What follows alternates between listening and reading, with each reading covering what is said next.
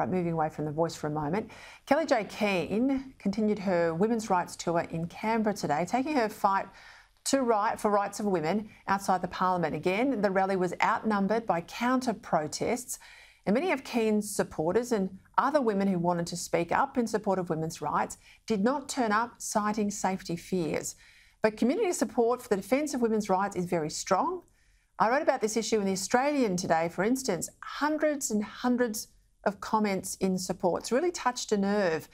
Never one to let the focus shy away from her. Victorian Senator Lidia Thorpe turned up as a protester at the rally, made sure it was all about her.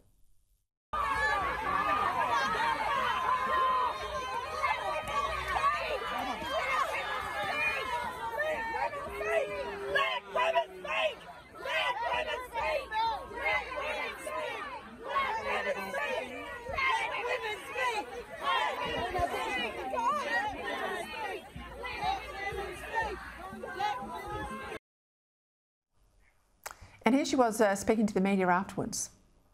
Now, I went to tell her that thing that they are not welcome here. And I'm pulverised by the police by simply telling that person that they are not allowed to. They're not welcome on Aboriginal land, she said. Well, one politician who did turn up, speaking at the rally and staying upright, One Nation leader Pauline Hanson. Senator Hanson, thank you for your time. What did you make of the rally today, the Thorpe spectacle? We saw her try to do the same thing, make it all about herself at the Sydney uh, Mardi Gras last month, again today. How did the crowd react? Not very happy about it all, um, uh, Peta. I was there standing right, well, you can see me in the footage anyway in the white dress, that was me.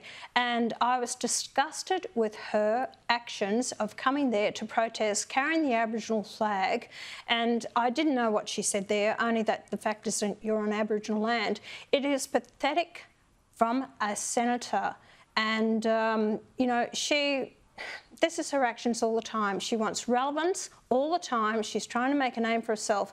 You know, people came there today in conditions. It was raining, it was uh, miserable weather, but people wanted to hear what Kellie-Jay had to say. And I went down because I support women's rights.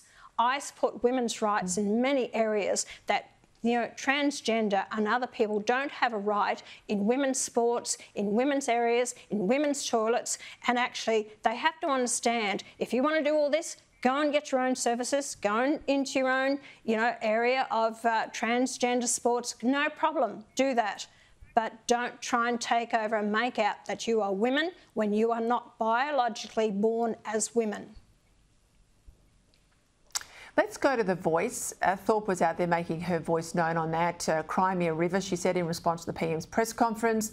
Uh, you, her, I were all in lockstep uh, uh, opposing the voice in principle. But what did you make of the PM's announcement today? Look, the PM, um, I, I, didn't, I didn't believe all this um, tear jerking stuff. Sorry, Peta, I didn't. I think it was. I thought it was pathetic of a prime minister, and that's my first uh, impression of it. What they're trying to do is um, push something forward on emotion, and it's not about emotion. People have to understand the implications this will have on our country, I find it divisive.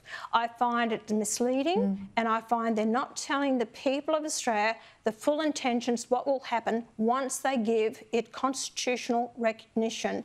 And Chris Merritt was. Mm excellent in what he said about this, and I totally agree with what he said. I hope people really think beyond the fact of uh, being, oh, well, let, okay, they were the first peoples here, let's give them the constitutional recognition. It will divide us as a nation, split us as a people, and you will find there are a lot of problems that will happen. And this is why they want to put it in the constitution. They can legislate it, but if it's put in the constitution, mm. it will never be removed.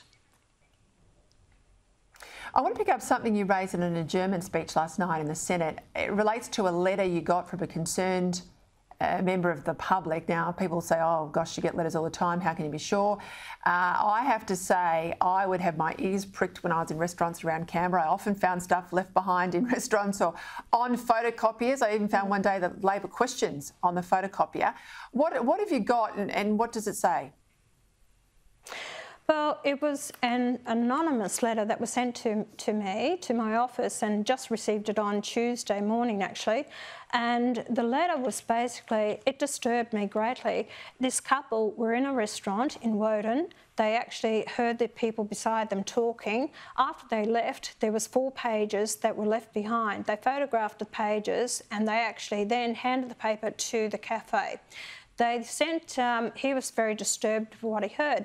But some of the things that they actually said is that, um, you know, 10% of appointments to be First Nations people for judges, magistrates, CW, SES, ADF officers, AFP and state police forces, corrections departments, vice chancellors and ambassadors. It's about no entry tests and no fees for First Nations people and reduce the age of eligibility for First Nations people because of that we die younger.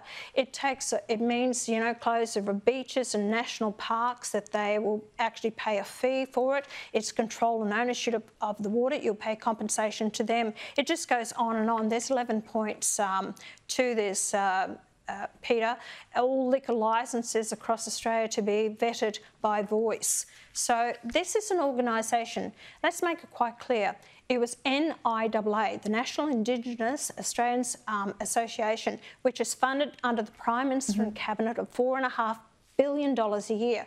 They were the ones that left this papers behind. So I have grave concerns about this.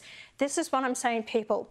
Understand, if you give the yes vote, this is what you could be opening yourself up to because once it's in the Constitution, as the, as the Prime Minister said mm. today, under Section 51, is it's making laws in the good governance of the country. You've given them permission to make these laws. They can bring in whatever they want to. If not now, any Absolutely. future governments.